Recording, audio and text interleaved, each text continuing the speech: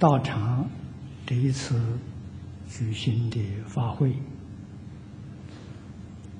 主要的目的。是祈求化解灾难，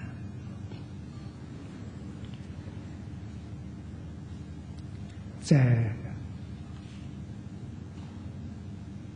我们做报告之前，诸位看到一个短片，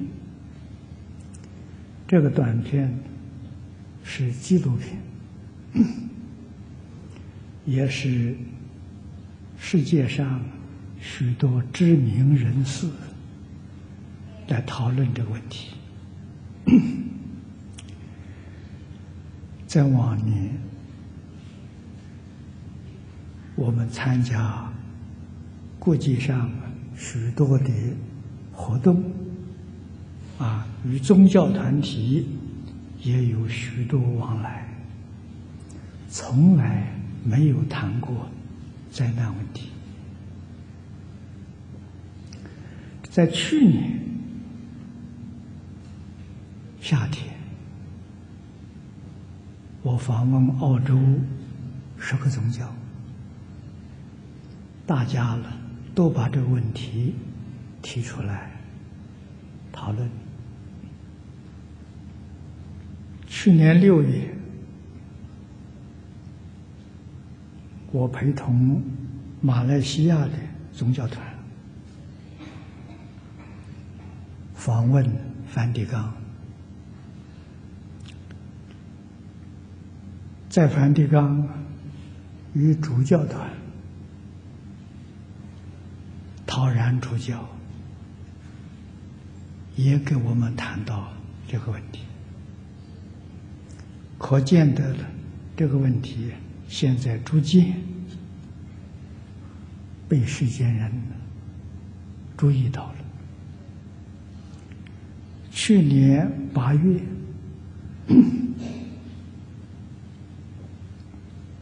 美国布莱登先生参加了悉尼的科学家的一些会议，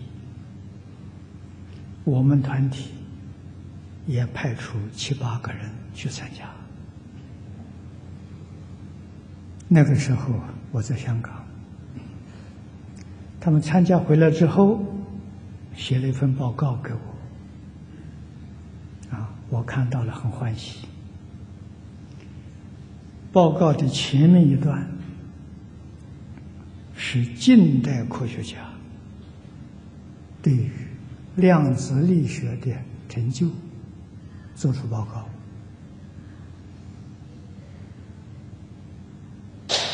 跟大乘佛法里面所说的几乎完全相同，啊，这是好的信息。啊，从这个报告，我们能够体会到科技不断的在发展，我们有理由相信，二十二十年、三十年之后。科学家承认宗教，承认佛教，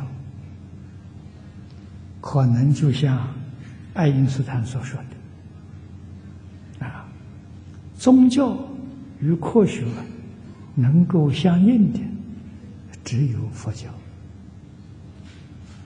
啊，所以佛教的很可能不再是宗教了，变成高等科学，啊，高等哲学。那么，相信学习的人会越来越多，啊，这是好的信息。他后半部这报告就提到啊，二零一二的事情，啊，这是几乎是一半一半，啊，有一半的科学家认为很有可能，另外一半科学家认为不可能。啊，所以有人问我：二零一二了，会不会有这种大灾难发生？我们从佛法的观点上来说，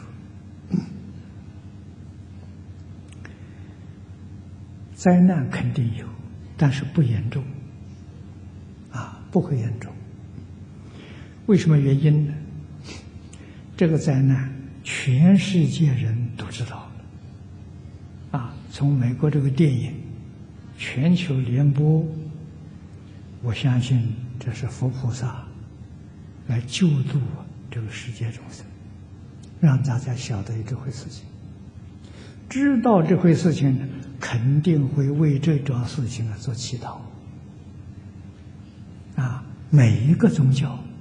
都为这桩事情做祈祷，集体意识会产生巨大的能量，啊，不是我们能想象的。这个祈祷可以让这个灾难减轻，啊，化解是不太可能，啊，会减轻，会推迟，啊，会。把灾难的时间缩短，啊，这都很可能做得到，啊，像我们佛教里面提倡的三世心念，也是属于祈祷，啊，但是祈祷呢，它只能治标，不能治本，就是，灾难缓和了一点，灾难推迟一点，并没有把灾难化解。啊这个灾难总还在。如果大家看到这个灾难没有了，于是对于一般科学家不相信、怀疑了，就老毛病又发作了，那个问题就严重了。实际上，这一次的灾难应该在什么时候发生呢？在一九九九年。啊。一九九九年，世界末日，啊，这个信息差不多在四百年前就被一些预言家提出来，啊，像法国的最著名的预言家诺斯多玛斯他就说过，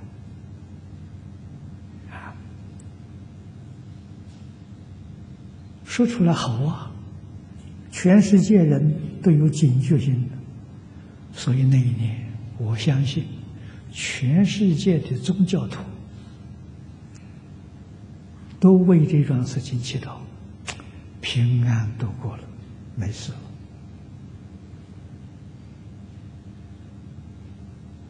了。啊，曾经有一些人怀疑，明明有灾难，为什么会没事情，平安度过？啊，这个里面就是集体意识产生了很大的作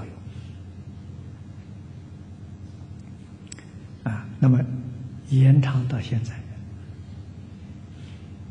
啊，那么现在的人造作的恶业，比十年前呢，我想超过十倍不止，可能呢达到一百倍。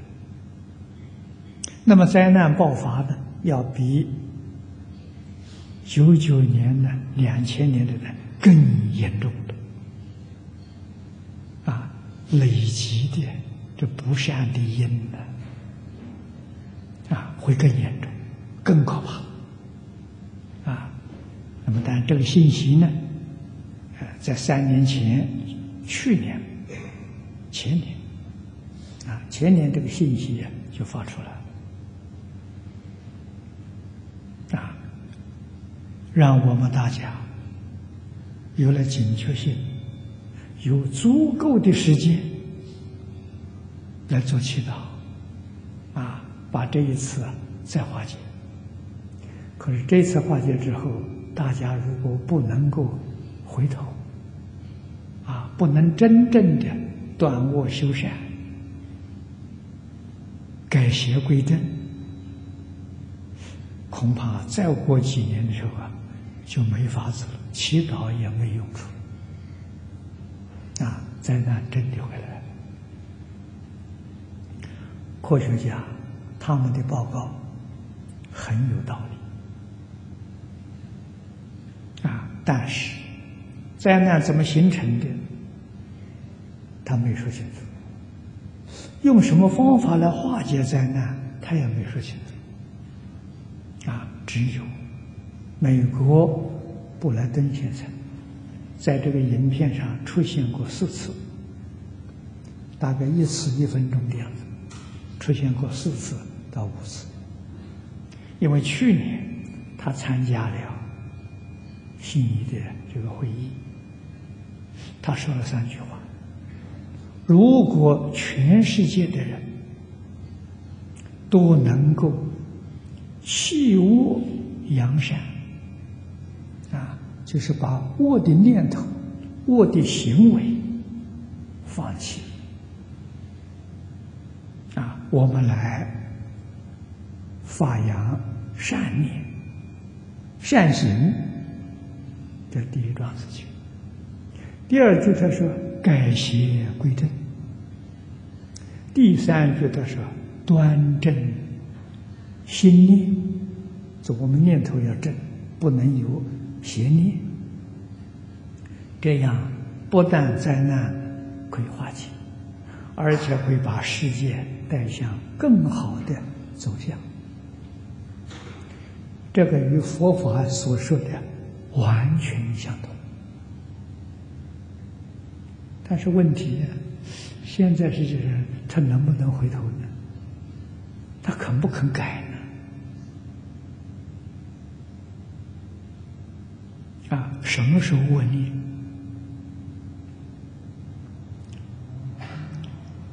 不相信伦理道德是恶念，不相信因果报应是恶念，不相信宗教里面的神圣呢？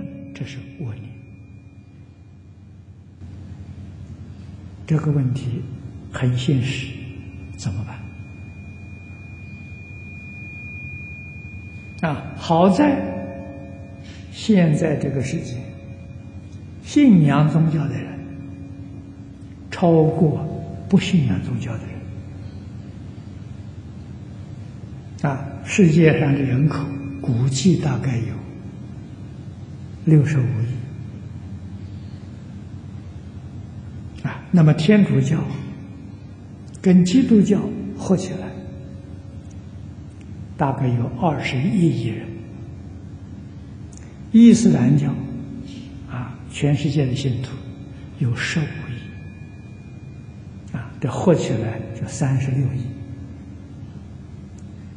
超过一半了啊！佛教徒估计呢？大概有六个亿的样子，啊，佛教徒，所以这个合起来就有四十亿了，啊，那么其他还有别的宗教徒，啊，我们相信呢，整个合起来说，也可能达到五十亿的样子，啊，那么不信仰宗教的顶多二十亿人。这信仰宗教的人，都能够为这个灾难的真诚的祈祷，这个产生的力量非常之大啊！那么这个是治标，不是治本。怎么治本呢？啊，我们去年在梵蒂冈。跟主教团对话的时候，我特别提出来，奉劝天主教能够带头，啊，希望全世界每一个宗教认真学习自己的经典，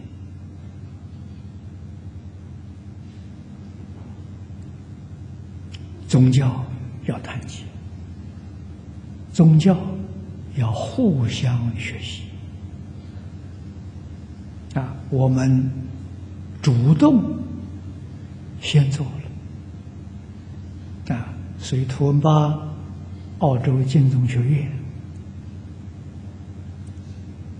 去年下半年，我们正式开启《古兰经》的课程，跟新旧约的课程啊，我们学佛，我们学天主教。学基督教，啊，学伊斯兰教，啊，今年我们还有计划的时候，哎，听说犹太教有六百条戒律，我们很想知道，啊，这个犹太教的长老他也很欢喜，很愿愿意到我们学会来做报告。啊宗教彼此互相学习，对于化解冲突、促进社会安定、世界和平有很大的帮助。啊，不仅如此，对于化解地球上这些灾难，也会有正面的影响。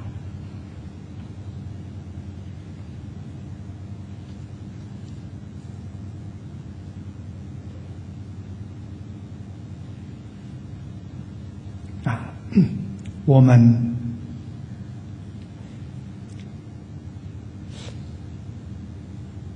要用什么样的心态面对这种事情？这很重要。我们念佛的同学念这个佛号，真有效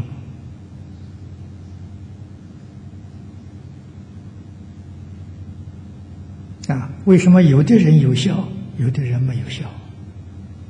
这就是布拉登先生所说的“心念不同”。端正心念，效果就非常显著。如果我们的念头里头有邪思、有不正当的这个念头在里面，我们念的佛号啊就被它破坏了。就不起作用了啊！那是正念的标准是什么？啊，要是以佛法的标准，那是大势至菩萨在楞严会上给我们所做的报告啊，他提出两句话，是念佛的端正。心念的标准啊，这两句话都是，就是都摄六根，净念相继。我们想想，我们几个人能做到？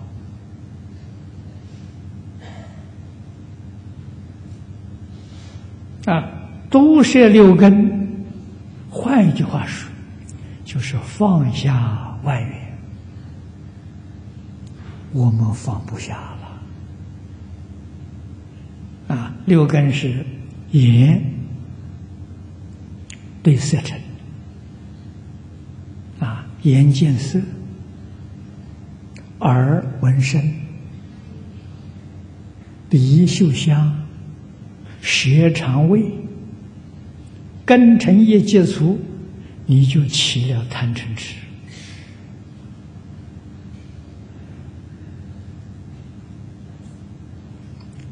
那就是放逸。我们六根往外面跑啊，往外面境界上跑啊，都是六根，就是把这个通通收回来。不是叫你不看不听，啊，不尝味，不是这个意思。决定不受外面境界影响。保持自己的正念，这个心态就对了。啊，顺境不起贪念，逆境不生嗔恚，心永远保持像《无量寿经》上所讲的清净、平等、正觉，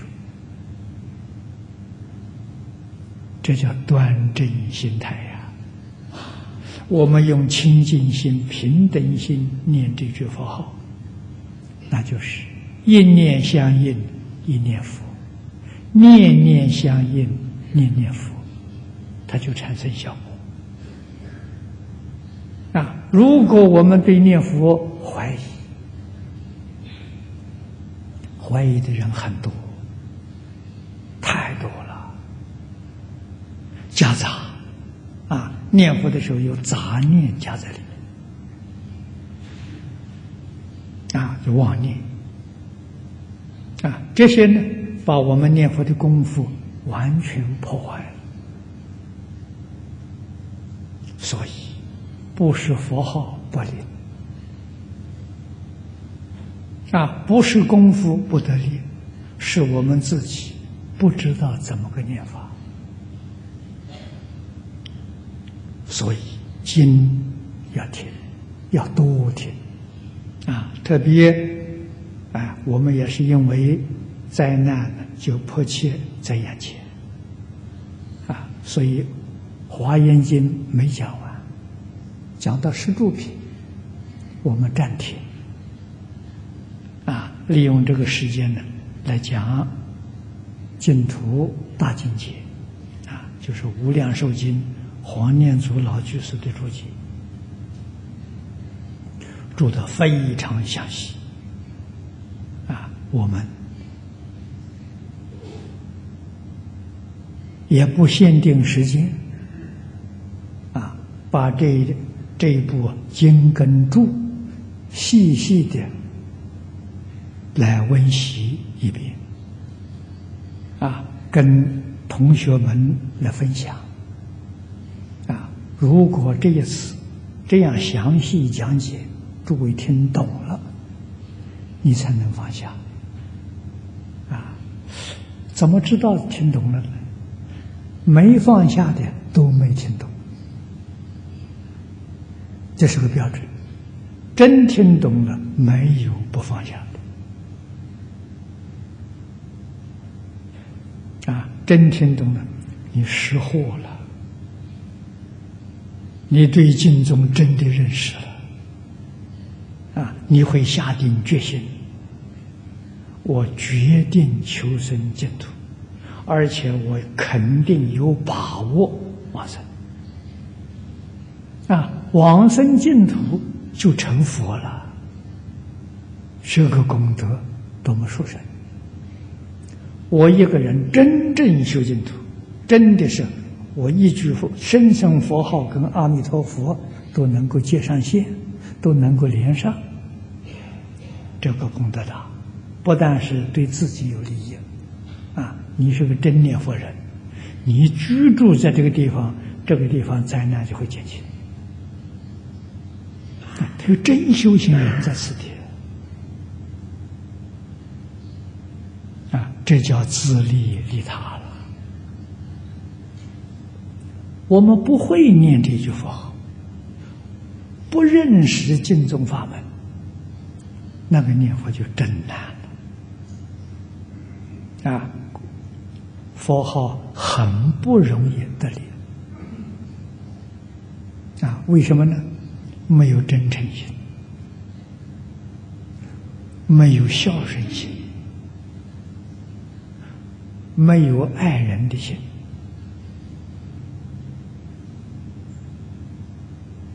没有谦虚的心。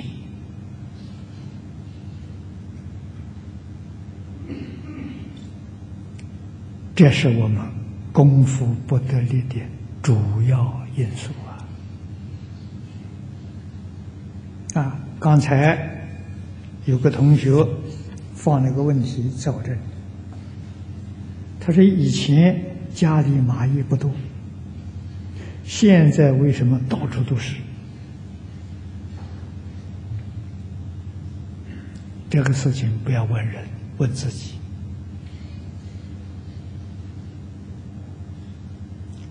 佛在经上告诉我们一个总的原则：一切法从心想生。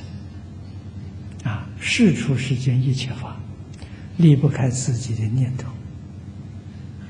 啊，从意念生的。量子力学家告诉我们，宇宙之间根本就没有物质这个东西。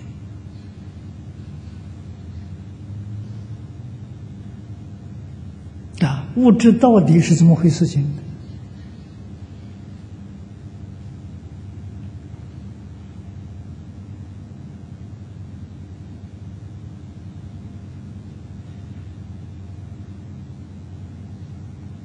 德国的科学家普兰克说：“啊，他是爱因斯坦的老师，啊，过世很久了，啊，他是专门研究量子力学的，啊，他说，根据他一生研究之所得。”啊世间没有物质这个东西，啊，物质现象是个幻象，跟佛经上讲的“凡所有相，皆是虚妄”，是个幻象。它的本质是意念，啊，也就是精神变现出物质，这跟佛法讲的是一样的。佛法说一念不觉而有无明，这无明就是阿赖耶。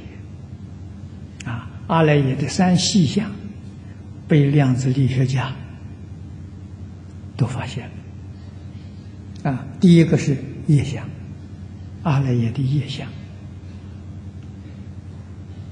科学家所讲的能量，啊，能量就是佛讲的业相。啊，从业相呢变现变化出转向，转向是精神现象。佛经上常讲的五蕴，色、受、想、行、识，这个转向就是意念，啊，就是受想行识。从受想行识呢变现成境界相，境界相就是物质，这个物质从这来的。所以物质的基础、物质的根本是意念，啊，这就是佛法讲的一切法从心想生，那个意念呢，就是现象。所以我们的念头啊，决定一切。这个在贤首过世的《望境还原观》上讲的太清楚了。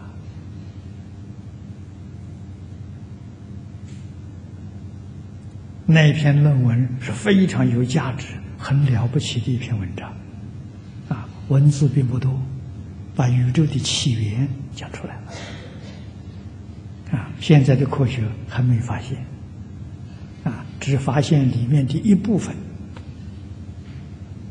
啊，真正的缘起没发现，啊，精神现象从哪里来的？科学家只说无中生有。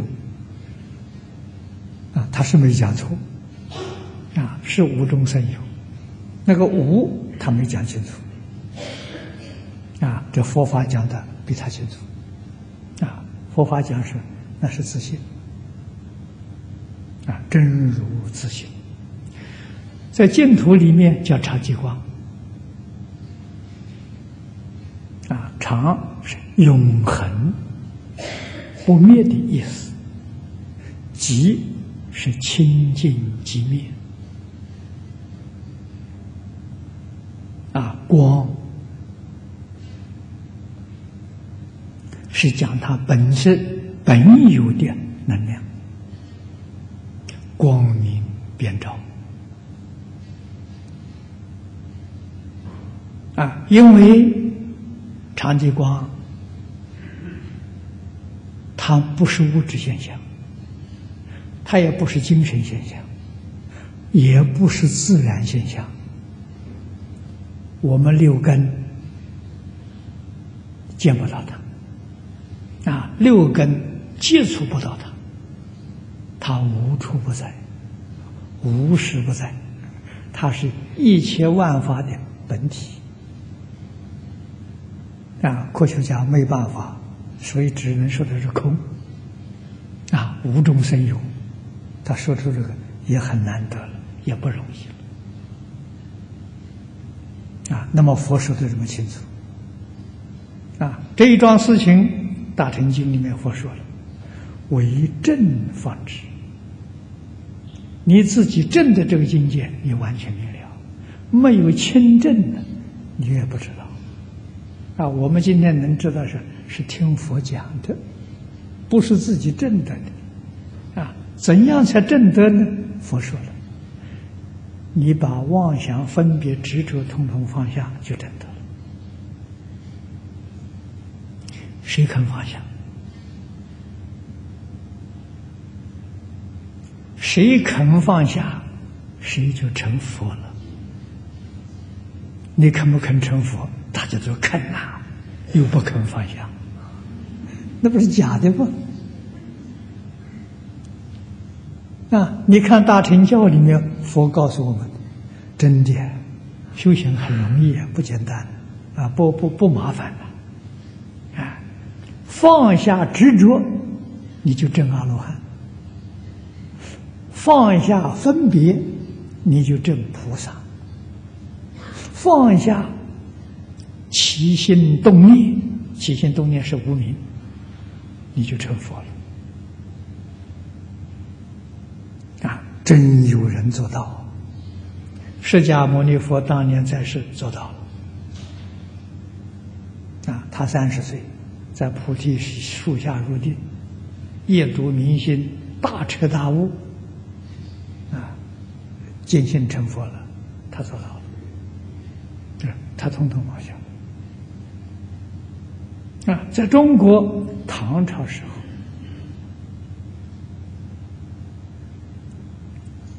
禅宗六祖慧能大师，那一年他二十四岁，听五祖忍和尚讲《金刚经》，他不认识字啊，肯定没有经本，他不认识字嘛，啊，我们知道。老和尚一定是给他讲大义，啊，讲《金刚经》的大义，讲到应无所住而生其心，他全放下了，啊，叫顿时，啊，把这个妄想分别执着一下放下，他就成佛了。他那个境界跟释迦牟尼佛在菩提树下那个境界完全相同。啊这给我们做证明，成佛不难呐，难在你不愿意放下。你要愿意放下，你马上就成佛了。我这一讲，你就成佛了。你不肯放下，那就没法子了。所以这个要懂啊，至少我们要把我放下啊。没有我，这身不是我啊！执着这个身是我，错了，身不是我啊！我们在六道里头轮回，不知道轮回多少次啊！我相信我们每个人都当过天王，都当过皇帝啊，也下过地狱，也做过恶鬼。也做过畜生，哪一道都有份的，都去过了，不止去一次，不知道去多少次啊！你说哪个生是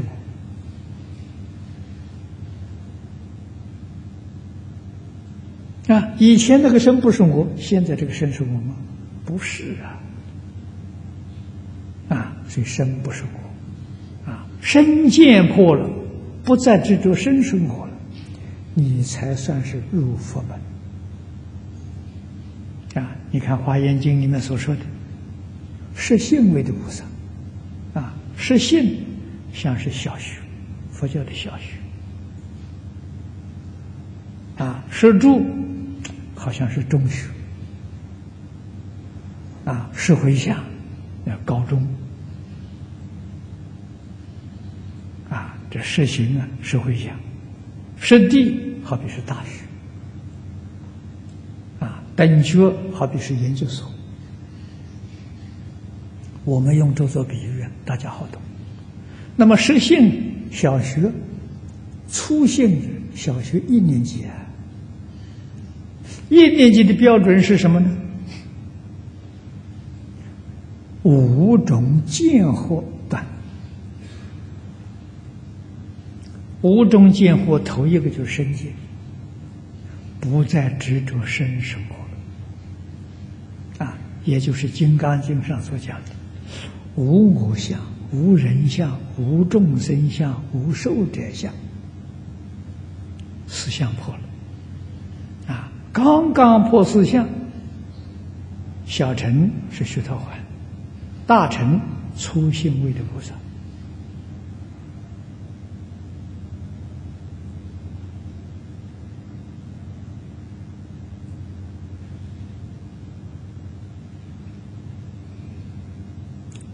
从初心位到八性，这八个位置，通通是断见惑。第九、第十，啊，九性十性，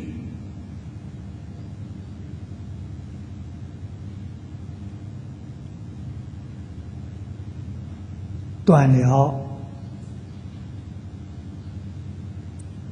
分别，破一片无名，这一份发生，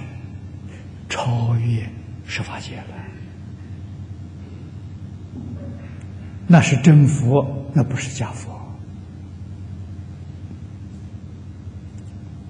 真诚心才现出来。换一句话说，设法界里面，这是实行为，真心没现前，用的是妄心，就用阿赖耶，啊，也就是说，我们用的是。妄想分别执着啊！但是六道里面与性德完全违背了，就造业、造罪业。四圣法界，声闻、缘觉、菩萨、佛，十法界里面的佛，他们用的正。跟佛法了完全相应啊！他们叫真正在学佛，但是没开悟啊！必须把起心动念放下，这才是大彻大悟、明心见性啊！这就超越十法界了啊！到哪里去了呢？到诸佛如来的。十报庄严度，到那边去了啊！在那个地方，全是化身菩萨，他们用真心，不再用妄心啊，跟这十法界里头啊完全不一样。我们明白这个道理，而且佛在经上啊常常提出来，至心一处啊。无私不办啊！我们把心、把妄心通通放下，一心就现起了。啊，一心就是真诚心，就是清净心，啊，就是平等心，就是慈悲心。如果我们用这种心，啊，真诚、清净、平等、慈悲、恭敬。啊对这些蚂蚁，蚂蚁就跟你很合作。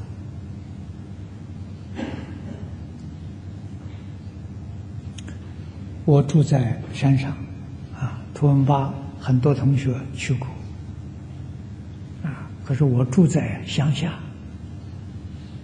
哎，在乡下的时候，我们建了一栋房子，这还好几年前的事情。房子建好，我搬到里面去住。头一天，啊，新房子。第二天早晨起来时，起来的时候，上洗手间，洗手间全都是蚂蚁。我想不通，蚂蚁从哪来的？怎么会这么多？啊！当时我就恭恭敬敬的喝着蚂蚁菩萨，你们从哪里来，还从哪里出去？我给你半小时的时间，啊，我到半小时去拜佛，回来之后我要用洗手间，啊，我要洗脸漱口，我就去拜佛去了。半个小时回来之后，一个蚂蚁都没有。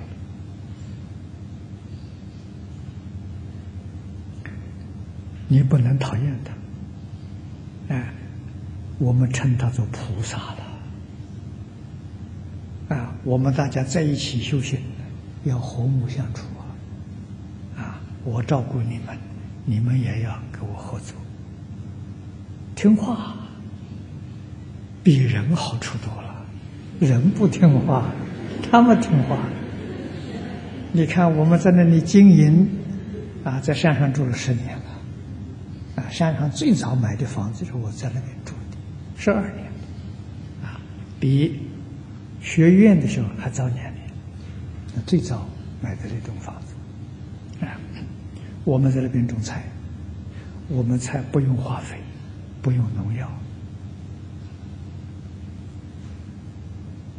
啊，菜园我们指定一个小小区，专门供养那些虫的。他们要吃，都到那里吃，我们还很用心的照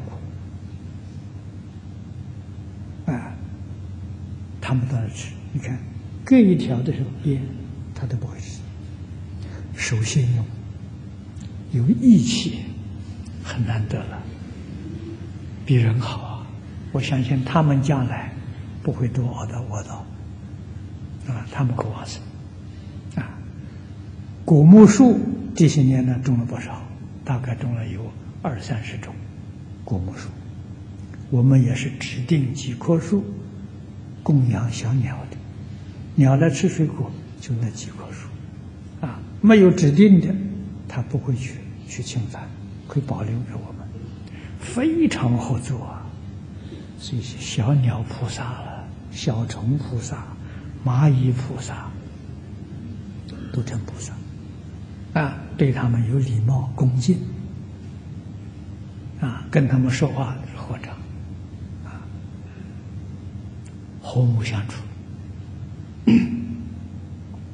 啊，我相信你们家里蚂蚁多的时候，你们有称他菩萨，大概都是很厌恶、讨厌的态度去看他。你讨厌他，他也讨厌你。这样就产生矛盾了，啊，决定不能伤害。啊，去年山东庆宁有一个例子，注意可以做参考。在齐淑平就是打电话告诉我的，啊，他们有四百亩地，很大，种的小麦。小麦正是收成的时候，突然发现呢有虫，有这个有虫啊，吃这个小麦。他打电话给我，许多人的赶快喷洒农药啊，要杀虫，不杀虫的四百亩小麦都没有了。打电话给我。我就告诉他：“我说平常你听经听的很多，你应该知道怎么处理。”他说：“好，我明白了。”啊，决定不杀害。啊，带着一群人到麦田里面去念阿弥陀佛，就绕绕佛念阿弥陀佛。啊，宁愿这四百亩小麦都供养这些这些小虫，也不伤害他们。啊，他们绕还不到一周，就下了一点小雨，啊，刮风，他们就回来了。到第二天去看呢，麦田里一个虫都没有了，一个都没有了。附近的农民都感到非常压抑，啊，明明昨天看那么多，又不是一一一个人、两个人，不是看花的，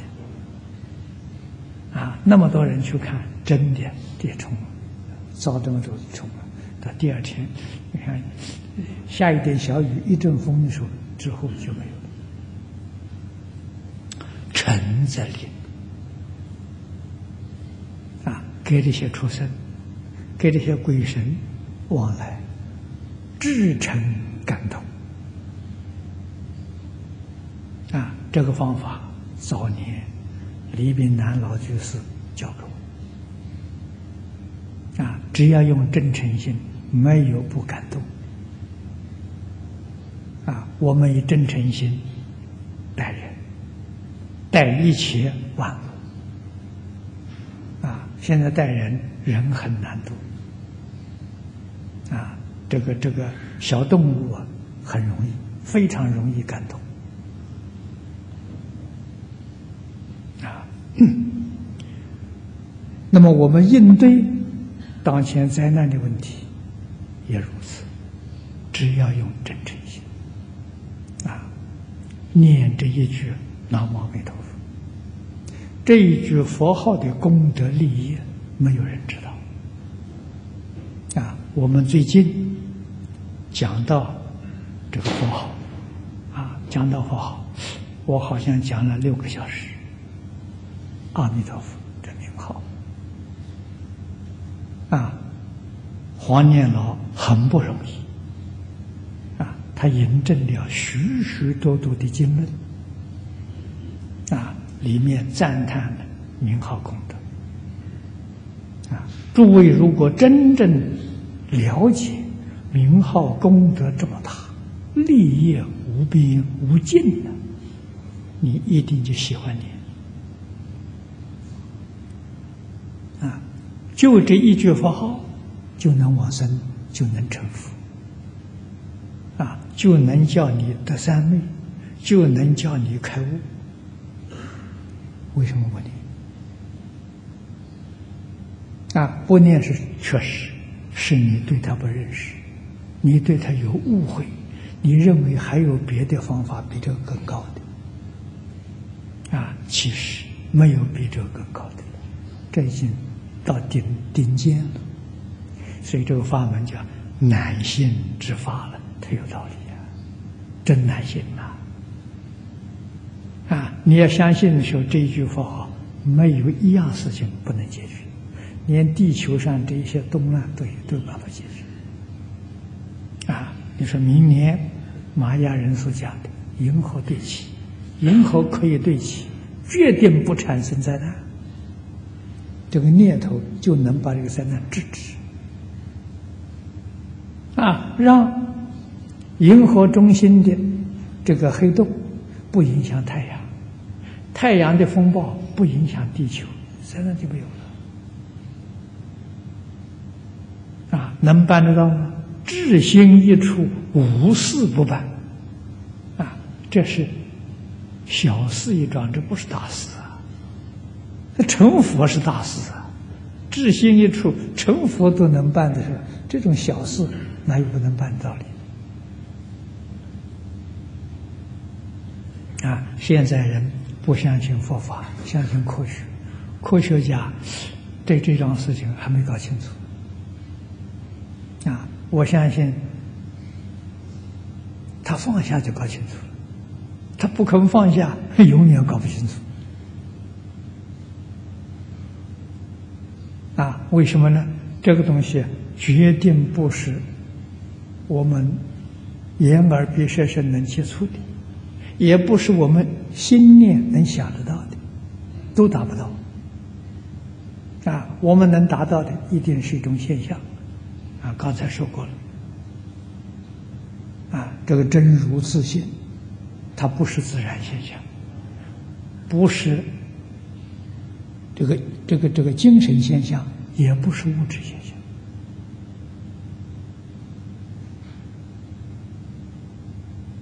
这个才是哲学里面所讲的万事万物的本体。啊，佛说的很好，为真方知，说不出来，啊，也没有办法形容它，啊，只有放下你就明白了啊。所以它有三个阶段，同时放下，马上就成佛；一个阶段一个阶段放下，你增长信心。你看，头一个像阿罗汉，啊，把见识烦恼放下了；出国须陀洹，把见烦恼放下了，啊，能能力就恢复两种。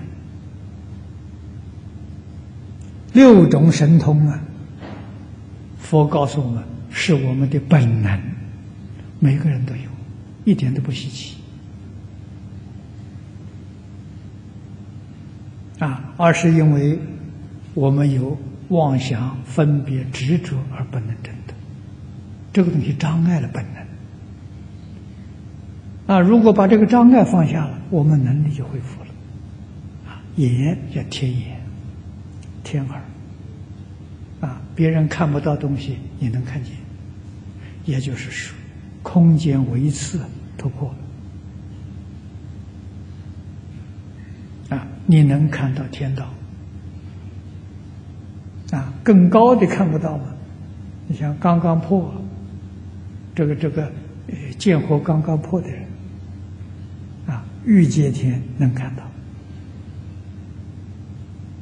到。啊，往下看的时候，我轨道你能看到，地狱道你能看到，你看到就相信了。啊，看不到你不相信了，你能看到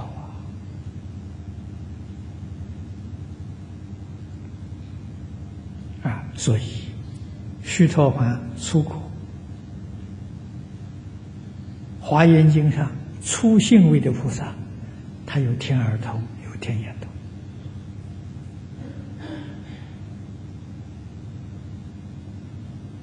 如果再进一步证得二果，啊，这个这个菩萨的位次，初性菩萨、二性菩萨、三性菩萨，三性菩萨等于二果，他能力又恢复两种，啊，他心通，虚命通，他心通。别人心里想什么，你知道？虚面是过去自己过去生生世世都清楚，就没有障碍了。啊，那么再想往上提升，啊，三国，啊，三国相当于五性菩萨，五性位，啊，他就有神足通，身份他就能变化，能分身。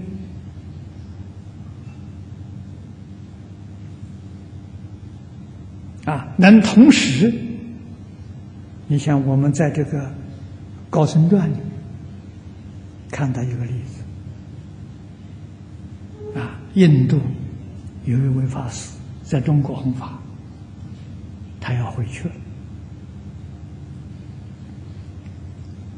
啊，在中国发愿很深，同学们呢。都想请老和尚供养他，啊，明天中午，那个时候他晚上不吃饭的，啊，中午来应供，这法师答应了，啊，第二天中午他真来了，啊，第三天他离开，大家到十里长亭去送他，每个人都很欢喜，啊，昨天老和尚看得起我。到我家用功啊！那个听的不对呀，老和尚昨天明明在我家用功，怎么会在你家了？这一串的时候，五百家，他同时分五百个身，每一家去用功。对，三国阿那含就有这个能力，他能分身呐。啊，你们看《西游记》，孙悟空七十二变，他比他能力大多了。孙悟空小悟啊，那那比不上他了。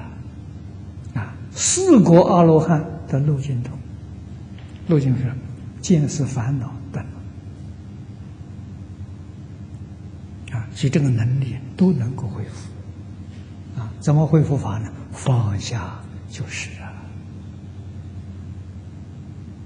啊。你不肯放下，没法子啊！所以佛法，我初学佛的时候，老师告诉我，看破放下。